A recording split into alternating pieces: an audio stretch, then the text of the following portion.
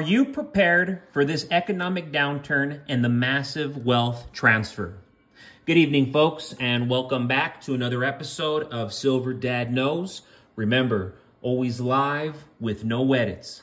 If this is your first time here, hit that subscribe button now, as you're going to like what I'm about to say.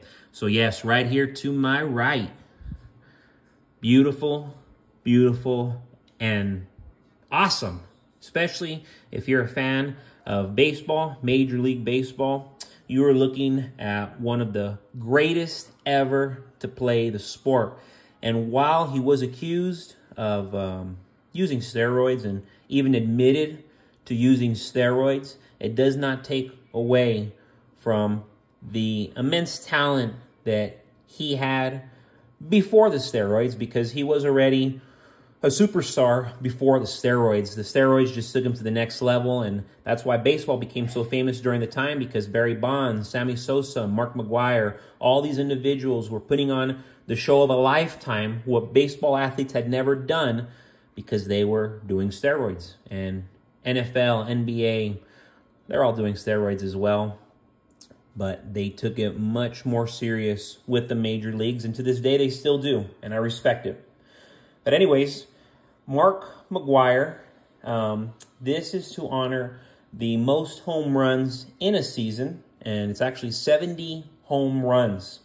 And uh, these are limited uh, batches. So here, this one is uh, 7,850. Uh, very, very limited mint. Mark McGwire uh, was number 25 from the St. Louis Cardinals, and this was honoring him uh, going back September 27th, 1998. So 26 years ago.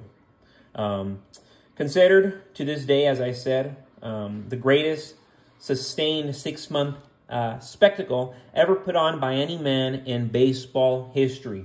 Mark McGwire went beyond expectations, beyond rational baseball uh, possibilities, and into his own magnific- magnificent twilight zone. So, awesome athlete. Would love to meet him someday. Um, and just super cool that I have this piece. I bought it a long time ago for a bargain. Um, now I'm seeing them go as low as 90 to $100 at the minimum, 90 to $100. Real quick, I want to give a very, very special shout out, and there's a comment from the other night, and this is to Captain uh, Clean. People need to understand Collecting certain dates of certain coins won't matter because the silver content will be all there gathering and melting for the precious metal we're running out of. As far as constitutional silver, pre-1964 half, quarters, and dimes should only be saved for bartering when fiat collapses. Um, 1.40 in constitutional silver equals one ounce of silver. Great comment right there coming from Captain Clean. And uh, I do want to uh, discuss how, yes, you know, certain dates and these collector coins, like this Mark McGwire piece and the other coin I'm going to discuss later, yes, these are collector coins, but in real time, before this collapse hasn't happened, it's still profitable to have coins like this. So I get it. If you know what hits the fan, yes, these are these are going to go and be worth just like any any other ordinary silver. I agree with that. But for the time being, that hasn't happened yet. And if you can make money and you have coins like this that you got years ago for a bargain and you can make money on them, more power to you. And that, that's all I have to say because I do agree that constitutional silver is where it's at. That's where I make my money every month, uh, mainly. Uh, because for the most part, I keep all of my, my ounces of silver. I'm always trading and selling um, constitutional silver, which I've realized that's, that's where the silver game is really at. Um, but going back to more relevant news, Warren Buffett just unloaded 50% of his Apple stock, signaling a significant shift in capital allocation for Berkshire Hathaway. The company now sits on over 200 billion in cash, a record amount. Why is this happening? It could be that major buying opportunities are on the horizon and Buffett is preparing to seize them. Similarly, Leon Black from Apollo sold 172 million in stock. And he's not alone. Jeff Bezos, Elon Musk, Jamie Dimon are also unloading shares at an increasing pace. A string of high profile CEOs and billionaires are selling off massive amounts of their company's stock, raising the question why now? Why now in real time? The Dow has doubled in the last four years, with stocks reaching all time highs. This suggests a higher likelihood of downside risk than upside gains. Many large companies are cutting costs, signaling a potential economic downturn that billionaires seem to be anticipating. Buffett's strategy hints at a preparation for higher taxes due to the national debt, which could increase significantly after the upcoming elections. The billionaires are liquidating their stock positions, possibly to avoid higher taxes to prepare for more attractive investment opportunities. This is where silver comes into play. As the company goes through major changes, silver remains a stable and valuable asset. Historically, precious metals like silver have been a safe haven during economic uh, instability. This surge in stock prices over the past few years, exemplified by Apple's rise from $60 to $219 and Tesla's from $34 to $200 has been phenomenal. However, this kind of rapid growth is often followed by a correction. And we're seeing these corrections.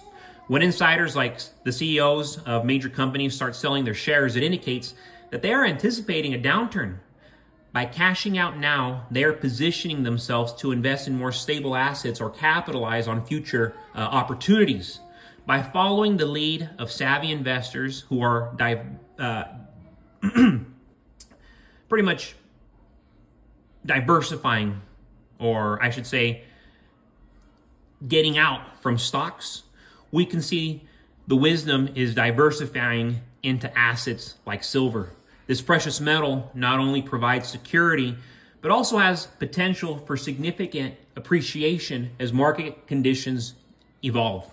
And that's why I am not going to stop uh, stacking silver. The same way I'm going to continue to build my crypto portfolio, I will continue to build my precious metal portfolio as well. So, boom, boom, boom. You are looking at the Silver Dad Knows piece, aka the JFK round. So, just want you to see right here the front side of this uh, spectacular round provides a view from the moon with the Earth visible off in the distance. The stylized text at the top reads Apollo 11 with the date of the landing, July 20th, 1969, just below. One of the astronaut's boots are shown walking across the lunar surface next to his footprints. The famous quote from Neil Armstrong reads, One small step for a man, one giant leap for mankind. Then my favorite side shows President John F. Kennedy, who very publicly announced the U.S.'s commitment to reach the moon before the end of the 1960s.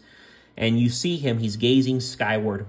On the right side of the design, the moon and stars are shown behind him, while a shuttle is shown launching from the Earth. I mean, just, just majestic. Um, both sides of the design use an eye-appealing uh, proof finish, meaning that the relief devices are lightly frosted to stand out against uh, beautiful mirrored fields. I mean, just look at that. It is no wonder why this is my all-time favorite coin.